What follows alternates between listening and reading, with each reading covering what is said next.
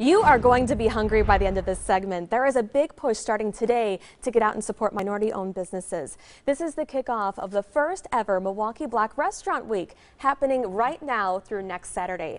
Symphony Squan and Monica Street are part of the steering committee, and Don Barnett with Our Life Cafe joins us live now to share more. And Tracy here at the end for support.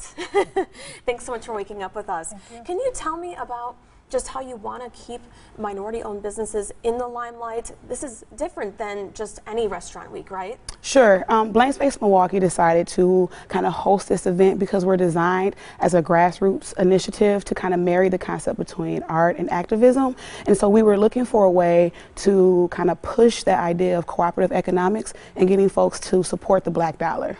Okay, well, thank you. And, you know, can you talk about the food here?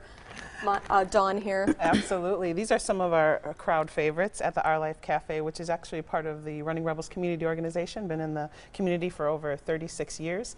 We have our Caribbean salmon, which mm. is a mm. beautiful Atlantic salmon with a mandarin orange salsa on top. It's right here. in the middle so is our jerk chicken. It's, it's seasoned, well marinated chicken thighs.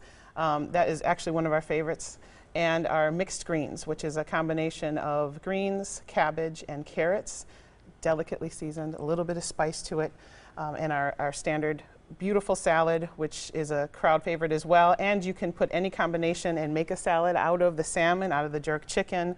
But that's a beautiful mixed greens, uh, craisins, walnuts, feta cheese, awesome with looks, the raspberry this vinaigrette. looks really healthy too. All of this looks extremely healthy. Absolutely. And you know, Monica, I was looking at a statistic that African Americans are just 13% of the U.S. population, but will have a buying power of 1.4 trillion dollars in 2019. Can you talk about the 11 different businesses that are taking part? Absolutely. So you actually nailed exactly why we wanted to Milwaukee Black Re Restaurant Week, and that's to highlight um, just that information. Um, so we have Messiah Soul Food um, that'll be participating, Ocean's Market, Skybox, um, Net Jazz Cafe, Stella J's, um, Daddy's Cafe and Grill, Irie Zulu. Um, so a range of restaurants. Those are just some of the black restaurants in the Milwaukee area. So we found uh, close to 40 restaurants that are black owned. Um, so looking for everyone to get out and support all of those restaurants. So great to highlight this. Thank you so much. And Tracy, I appreciate your time. I really do.